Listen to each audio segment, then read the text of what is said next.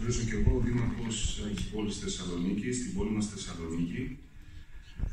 Ε, Ξεκινώντας λέγοντας ότι ο ανοιχτός, ο δημόσιος διάλογος τόσο υψηλού επίπεδου είναι εξαιρετικά ευπρόσδεκτος ε, στη φιλόξενη πόλη της Θεσσαλονίκης και η σύνοδος αυτή του κοινωνικού διαλόγου που διοργανώνει η τόσο δραστήρια Οικονομική και Κοινωνική Επιτροπή της Ελλάδας είναι κατεξοχήν μια τέτοια περίπτωση είναι, ξέρετε, κάτι παραπάνω από μια τυπική θεσμική υποχρέωση.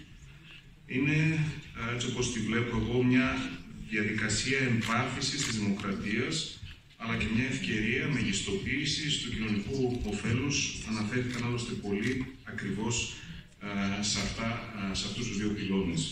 Ευχαριστώ λοιπόν από καρδιάς τον παλιό καλό φίλο, τον Γιάννη Πάεδα, τον πρόεδρο και τους συνεργάτες του και για την πρόσκληση και για την επιλογή της πόλης της Θεσσαλονίκης. Θυμά την πόλη της Θεσσαλονίκης η σύνοδος αυτή αυτές τις μέρες.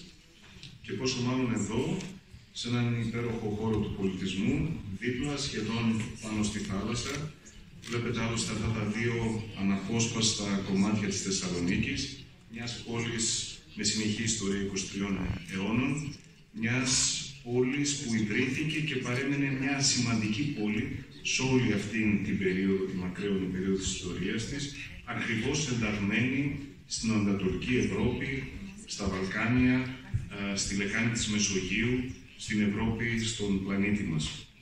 Αυτή λοιπόν η ξεχωριστή θέση της Θεσσαλονίκης σε κάθε περίοδο της ιστορίας της είναι ακριβώς αυτή, όπως υπόθηκε από πολλούς προηγουμένως, ιδιαίτερα από τον προηγούμενο μας τον Σταύρο του Καλαφάτη, είναι αυτό που διεκδικούμε και σήμερα.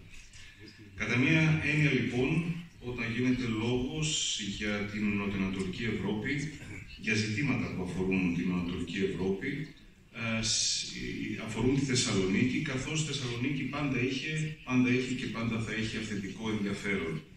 Είναι, βλέπετε, αυτό που αναφέρθηκε προηγουμένως και από τον Υπουργό, τον Χρήστο Σταϊκούρα, ο γεωγραφικός, ο πολιτισμικός, ο οικονομικός, ο γεωπολιτικός χώρος αναφοράς και χώρος ενδιαφέροντος είναι διαρκής. Πόσο μάλλον με τις εξελίξεις στην, περίοδο, στην περιοχή των Βαλκανίων, στην περιοχή της Νοτιοανατολικής Ευρώπης. Φιλοδοξούμε λοιπόν να γίνουμε και πιστεύω ότι το καταφέρνουμε μια πόλη κόμπος για αυτή την περιοχή.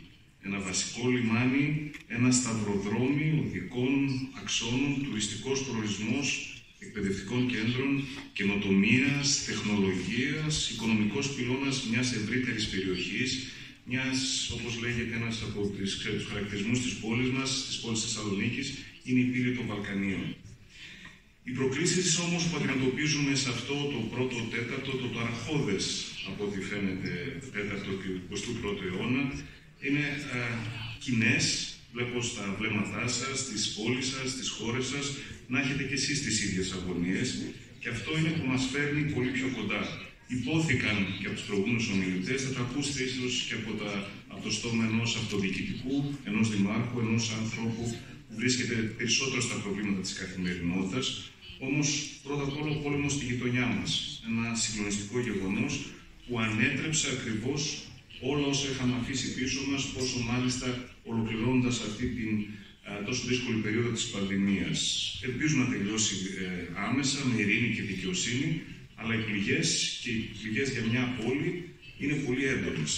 Δεύτερον, η ενεργειακή κρίση και αυτή μια τεράστια πρόκληση, από την οποία όλοι έχουμε επηρεαστεί, δεν μπορείτε να φανταστείτε πόσο έχουν πληγεί οι Δήμοι από αυτήν. Εδώ βέβαια κάθε χώρα, αλλά και κάθε Δήμος θα κρυθούμε με τα μέτρα, με τις δράσεις που έχουμε πάρει η, προσω... η προσαρμογή μας στα νέα δεδομένα είναι μονόδρομος. Μιλήσαν προηγουμένως οι άξιοι ομιλητέ για ανανεώσιμες πηγές ενέργειας, για εναλλακτικές διαδρομές στην ενέργεια.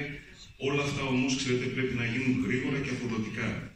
Και είμαι βέβαιος ότι οι συνεργασίες που γίνονται, όσο μάλλον στο πλαίσιο της ΣΟΚΕ, ε, μας φέρνουν ακόμα πιο κοντά και μας φέρνουν όχι μόνο κοντά μεταξύ μας, αλλά και πιο κοντά στη λύση των προβλημάτων.